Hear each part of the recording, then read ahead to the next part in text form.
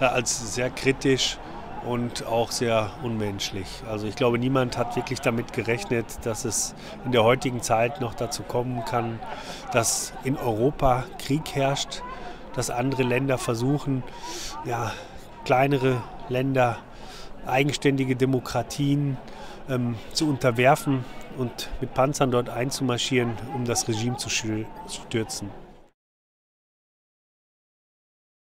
Ich glaube, die Fehler sind sehr stark auch in der Vergangenheit gemacht worden. Man hat Putin und sein System einfach zu groß werden lassen. In Russland selbst gibt es kaum Opposition, kaum freie Medien und der Westen hat lange zugeguckt. Unsere Politik hat zugeguckt.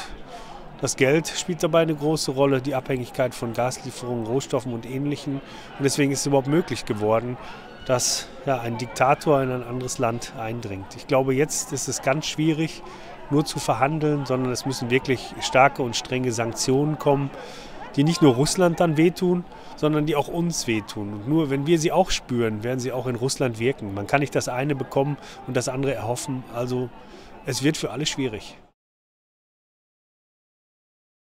Ja, die ist natürlich jetzt schwierig, ne, die große Politik zu beurteilen.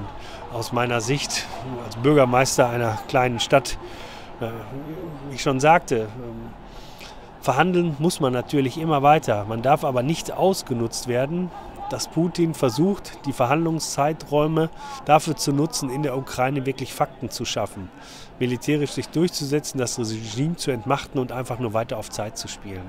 Ich glaube, man muss wirklich strenge Sanktionen, die spürbar sind für Russland und für Putin selbst, noch deutlicher forcieren.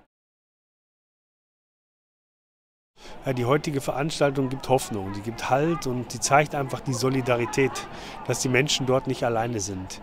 Wir von Mensch zu Mensch versuchen denen in der Ukraine zu zeigen, ähm, wir stehen zu euch. Wir können ähm, dieses Unrecht nicht begreifen. Und jegliche Hilfe, die wir in Aalen anbieten können oder wir Aalener, die werden wir auch anbieten unabhängig davon, ob wir sie dann in die Ukraine schicken, diese Hilfe materieller Art, oder die Menschen, die zu uns kommen, dass wir sie dann aufnehmen. Das werden wir selbstverständlich tun mit allen Mitteln und Hilfemöglichkeiten, die wir haben.